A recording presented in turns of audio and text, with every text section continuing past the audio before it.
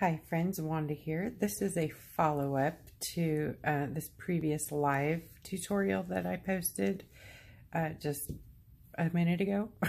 Anyways, what these are going to post directly after each other.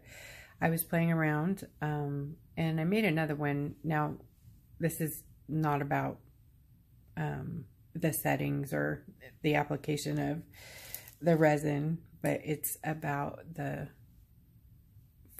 the foil, the plastic. This here, see all the different colors in that?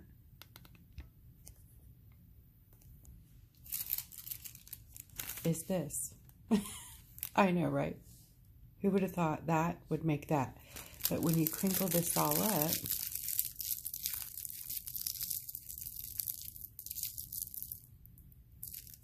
mm-hmm then all of a sudden you have facets, right? And then when you put facets on something dark, can you see how this happens? Okay, this was just on the bare rock. Well, I put some uh, top coat nail polish down and then stuck it to the bare rock. No paint underneath it.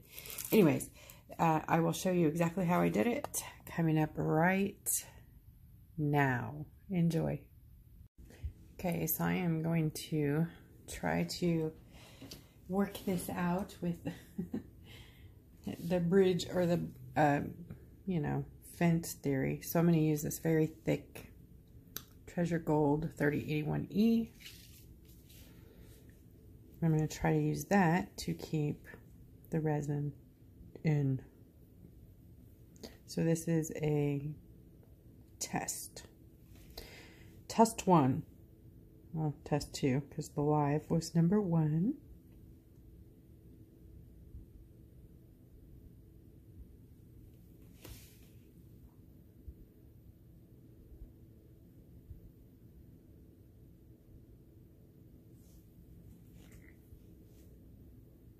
So my idea here is I'm going to be layering a few coats of this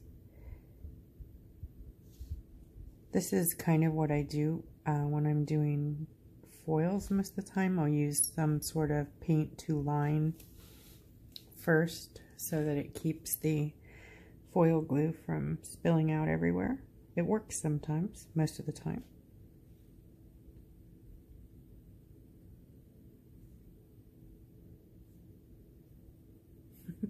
paint on the finger.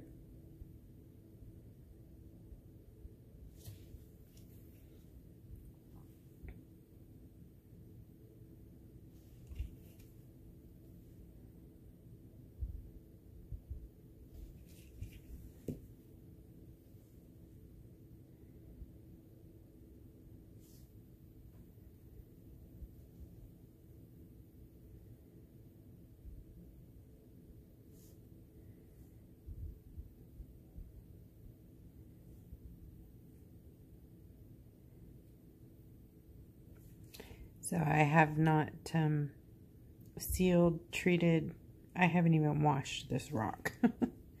it's just a river rock, or I don't even know if it's a river rock. This one is from my driveway, well, my yard.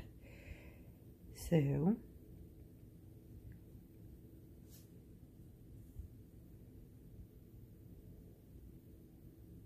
I actually think it might be beautiful on this rock. You never know, right?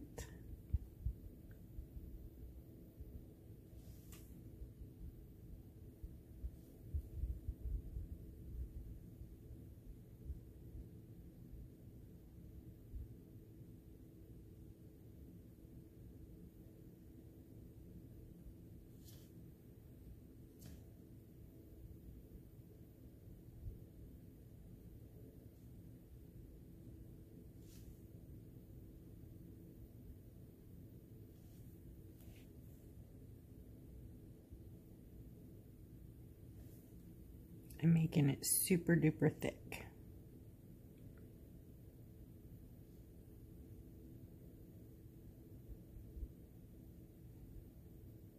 Sort of like um, if you if you do resin or yeah resin paint pouring maybe Sometimes um, people take glue sticks and hot glue gun and they'll make a mold on a surface using the glue. They'll put the glue down and then they'll pour the resin in there and it kind of acts like a fence. So I'm sort of doing that, but with paint.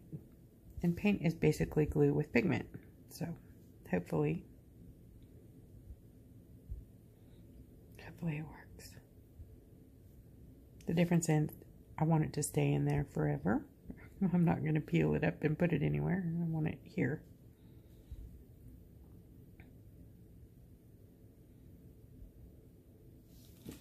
That's pretty thick. Can you see that?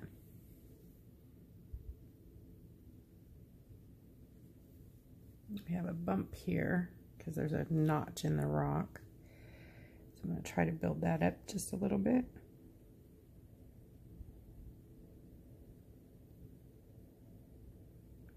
Sometimes thick paint comes in handy. All right, I'm going to let that dry. Okay, I'm going to prop my rock here with this pretty eraser. Thank you, Ju uh, Lori. Sorry, thank you, Lori, so much. Um, anyways, because it's sort of tilted and I'm going to be adding some uh, resin, or eventually some resin in there, yes. Starting with UV top coat and a crinkly piece of mylar that looks like nail foil, but it is not nail foil.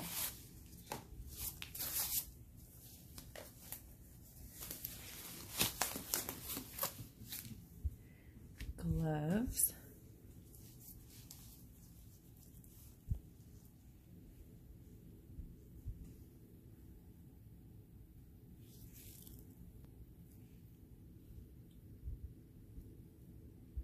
Okay, so I'm spreading the top coat. This is Beetles UV top coat. Not necessarily need to be this brand. Um, anyways, I'm spreading it in the oval inside the gold fence, we'll call it for right now. We're sciencing this art project. Experiment number two. Boy, that sure is pretty just all by itself. Goodness. Okay, so what color mylar? I didn't paint it black in there like the other one because the rock is dark. So this was the green color from before. Let's do a different color. Let's do a purple. I don't even know if it'll show up. we shall see. Okay, so I am going to cut it out first in this shape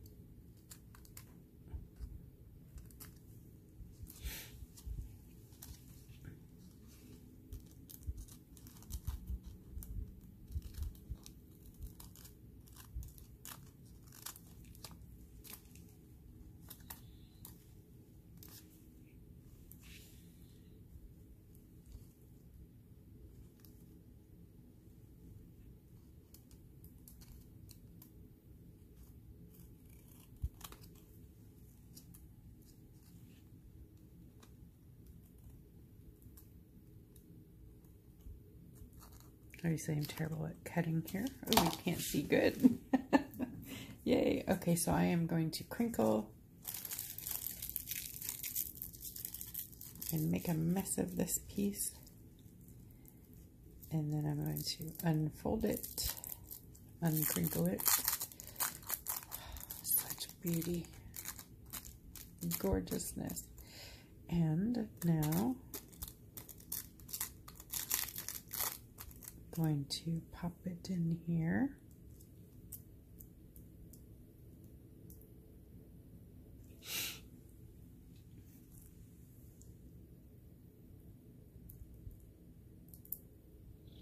I didn't cut it small enough. Darn it.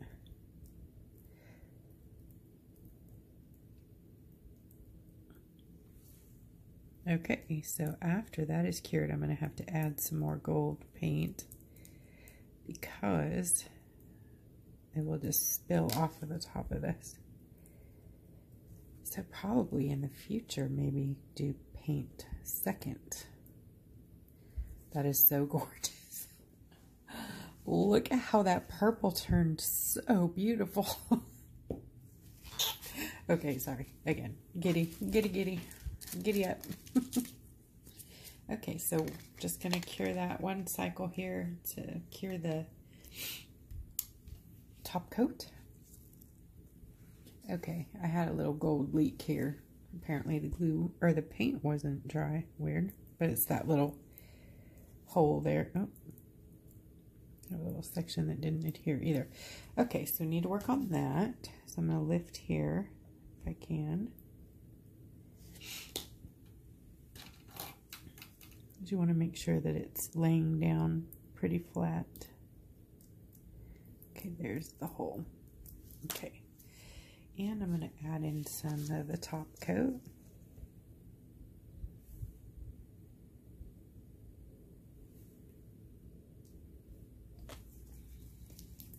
Lay it back down and cure it.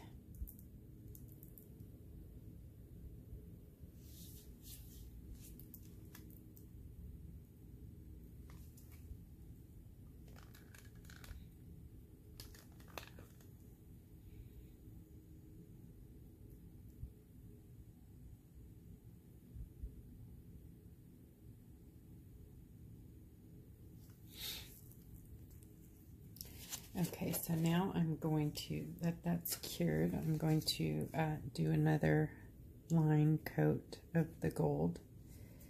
Nice thick outline.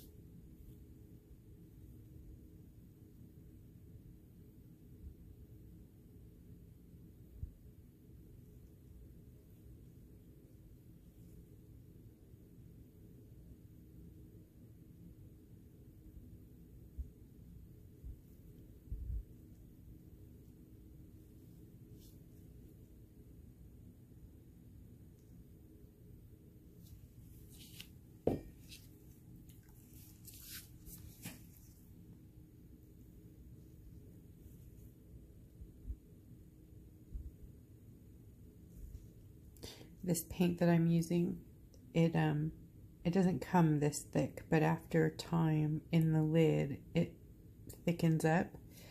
So if you need it to, if you need a really thick paint, you can take some, put it in a jar, a little, let me show you, uh, like this, per se, and leave it open, not overnight or nothing, just leave it open for a few hours, let it thicken up, then close it, then you know, do that for a few times and it will thicken up like this.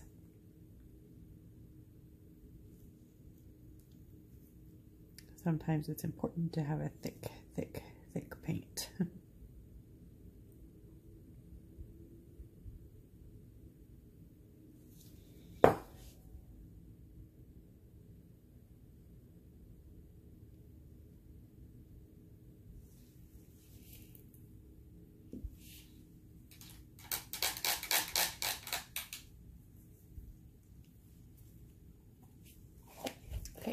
let that dry.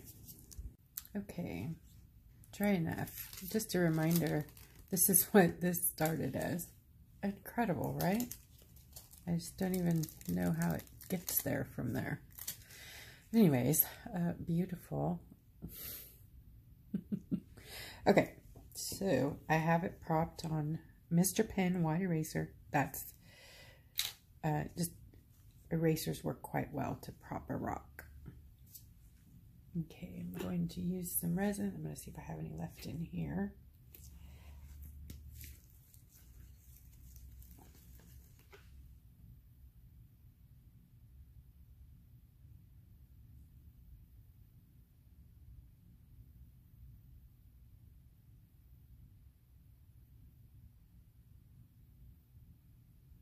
So what I learned from the last one is don't overfill.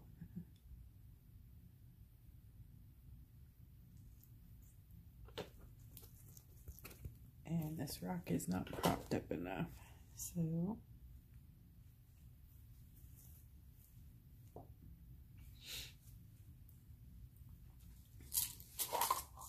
use a toothpick or something uh, like a silicone stick to bring the resin to the edges.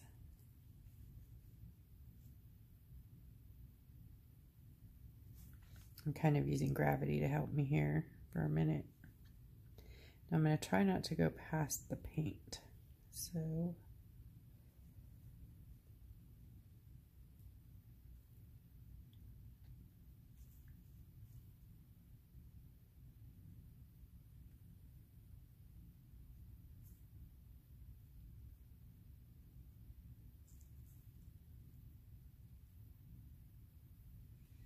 We need some more.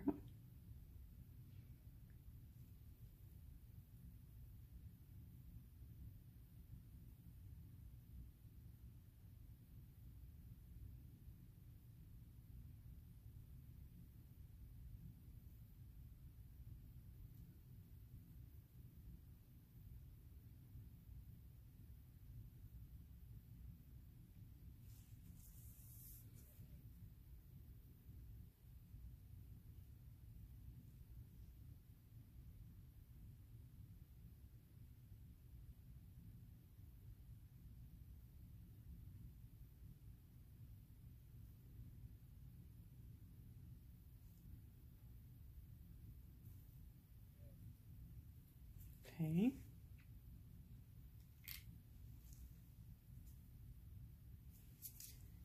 Okay. I'm going to torch that. Get the bubbles out.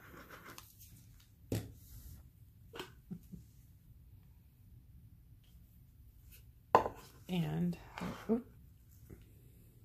okay, it's got to be careful.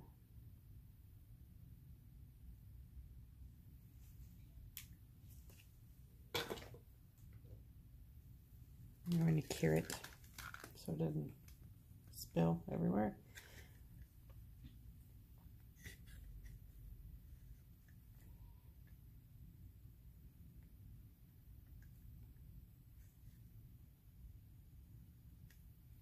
This is so cool. so exciting.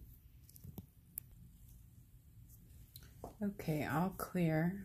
All cured. I am going to attempt to attach these rhinestones around here. So I am not going to do them, attach them all on video, but I will attach a few. This is UV top coat. That's a refill. It's Gelixir. No white top coat. UV. And I'll be using a Q-tip or a toothpick. Lottie and my rhinestone picker. And I'm going to start right here.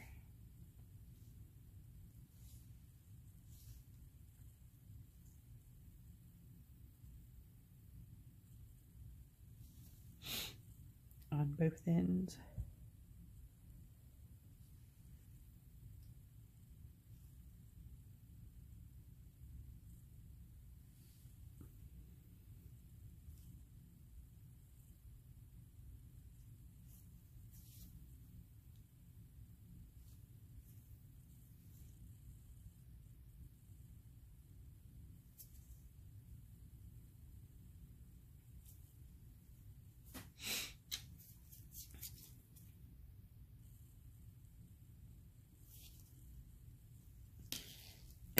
Spark here.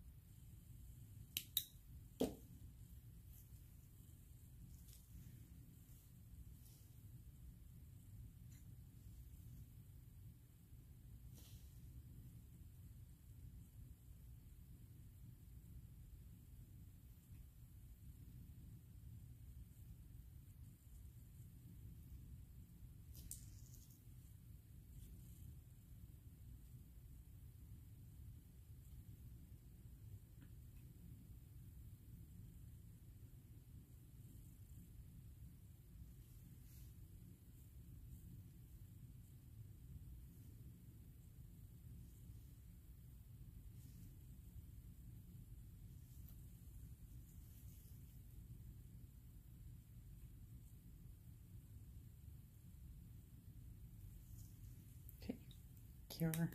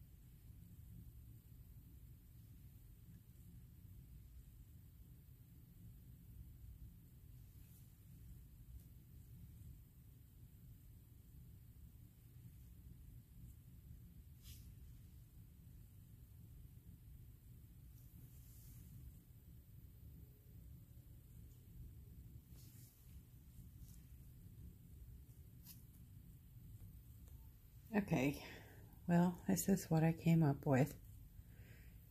I'm not a jewel setter either, but I think it's kind of pretty. The point is, that is beautiful. And that was that. Can you believe it? So I think we can do lots of things with this and uh, expand on it. Uh, somebody mentioned a dragon eye and holy moly, there's a lot of applications this could be used on. And if you're a jewelry maker, absolutely, you can do pendants and all kinds of things. Um, go over and check out um, Thinking Outside the Box. And she has many, many, many videos of things like this. She's a uh, works predominantly with jewelry and, and beaded things. This is such a cool technique. And uh, I think you'll enjoy her tutorials immensely. They're gorgeous. Thanks for tuning in here today. And uh, if you liked what you saw here, please hit subscribe. If you uh, would like to be notified, hit the bell and come on over and visit us at Creative Rock Art and Foil Techniques on Facebook. fun and friends. Take care. See you soon.